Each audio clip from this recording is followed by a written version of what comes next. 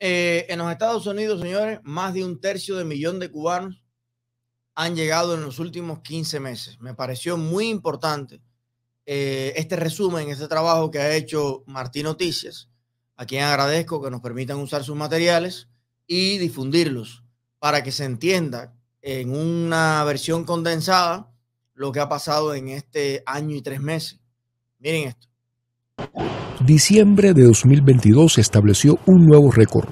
44.064 cubanos ingresaron a Estados Unidos, según cifras publicadas por la Oficina de Aduanas y Protección Fronteriza. En el año fiscal 2022, según este cuerpo militar, 224.607 cubanos llegaron a suelo estadounidense, y en los tres primeros meses del presente, es decir, entre octubre y diciembre pasados, otros 109.823, lo que marcaría otro récord, superando el tercio de millón de cubanos en apenas 15 meses, es decir, algo más del 3% de la actual población en la isla. La agudización de la crisis política, económica y social que desembocara en las masivas protestas antigubernamentales de julio de 2021 motivó al régimen comunista cubano, según sostienen conocedores del tema, a buscar la forma de abrir la válvula de escape y ante el imparable éxodo obligar a Estados Unidos a sentarse en la mesa de negociaciones. La Habana aceptó las deportaciones y Washington impuso la expulsión acelerada, otorgando además hasta 30.000 visas mensuales a ciudadanos cubanos, nicaragüenses, venezolanos y haitianos, en aras de mejorar la seguridad fronteriza, limitar la migración irregular y crear procesos adicionales seguros y ordenados para que quienes huyen de las crisis humanitarias en estos países puedan llegar legalmente a Estados Unidos. Por su parte, la Guardia Costera estadounidense ha reportado que desde el 1 de octubre de 2022 ha interceptado a 5.183 cubanos en el mar, una oleada migratoria que amenaza con superar la del año fiscal anterior, cuando fueron detenidos 6.182 balseros. El secretario de Seguridad Nacional Alejandro Mayorkas dejó claro la pasada semana que los cubanos y haitianos que se hagan a la mar y desembarquen en suelo estadounidense no serán elegibles para el proceso de parol y serán colocados en procedimientos de deportación procesos que según ha informado la Guardia Costera estadounidense se han estado realizando periódicamente.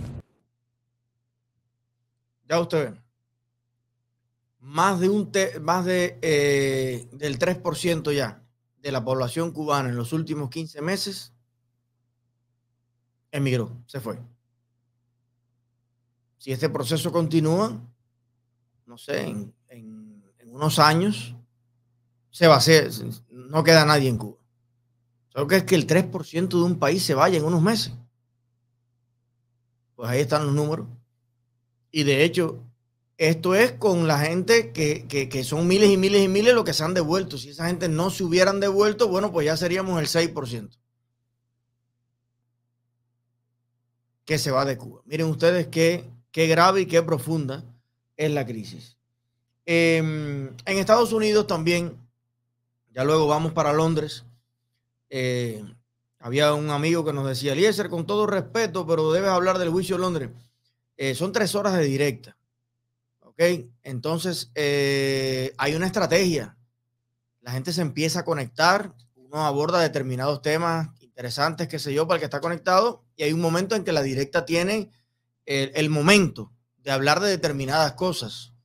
Eh, ustedes cuando yo veo el noticiero de Telemundo no puedo decir, oye, ponme esto aquí, ponme esto allá. No, los expertos en televisión dicen, empieza por aquí, después sigue por allá y después, entonces, cada quien tiene, usted lo que tiene que hacer es sentarse a verme la tarde entera. Perdona que te disculpe, son tres horas y tenemos cada minuto planificado, no podemos complacerlo eh, cambiando el orden. Entonces, eh, en Estados Unidos quería resaltar que la joven cubana Oli de Armas, que tocaba violín en las calles de Miami, abre su academia de música. Mire usted lo que es el sueño americano como es. Mire usted. Así se llama la academia. Recuerda que le entrevistamos aquí en el programa El Taburete, hoy de Armas, que vino además con Willy eh, Corujo, uno de los mejores violinistas que ha dado la República de Cuba, el violinista Ricardo Montaner, que anda de gira con él para todos lados, que fundó eh, el Divo Latino o Latin Divos. Y bueno, eh, vinieron aquí los dos y fue uno de los programas más bonitos que hicimos del taburete. Bueno, pues aquella niña recién llegada, luchadora, talentosa, que se iba a las calles, a la calle 8, a Lincoln Road, a entregar su talento a cambio de una propina prácticamente unos meses después, funda ya en los Estados Unidos su escuela de música para poder darle pues las, las nociones de violín a todos esos niños, niñas, personas que quieran aprender a tocar este y otros instrumentos. Mire ustedes qué cosa, ¿no? Tan, tan maravillosa es salir de Cuba y nacer de nuevo en una, en una tierra, en un lugar donde tú puedes ser dueño de tu propio negocio donde el país avala, respalda, admira y ve bien que te hagas multi, multi, multi, multi, multimillonario, mejor para el país, mejor para la gente, mejor para los empleos que vas a crear, mejor para las inversiones. Señora, hay una cosa, entre más dinero, mejor. En un país, en una nación. No, pero es que tengo 10 millonarios. Bueno, lo único que es mejor que tener 10 millonarios es tener 10 mil, 100 mil, porque eh, eso es por, por, por. Cuando tiene 100 mil millonarios, tiene 100 millones en la clase media. Y con los impuestos que le cobras a esos millonarios, también apoyas entonces al que, al que por alguna razón, al ciego, al sordo, al mudo, al este, al otro, al. Pero, óyeme, no puede haber redistribución de la riqueza cuando no hay riqueza. Pero aquí estamos hablando de los primeros pasos de un emprendimiento. Míralo ahí.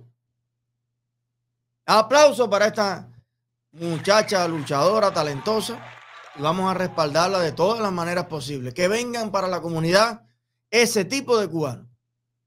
Sí, te digo una cosa, yo prefiero un buen haitiano que un mal cubano. A mí ese orgullo patriotero de que ser un compatriota tuyo, no, a mí, a mí que sea compatriota mío, que sea cubano, a mí todavía no me dice nada.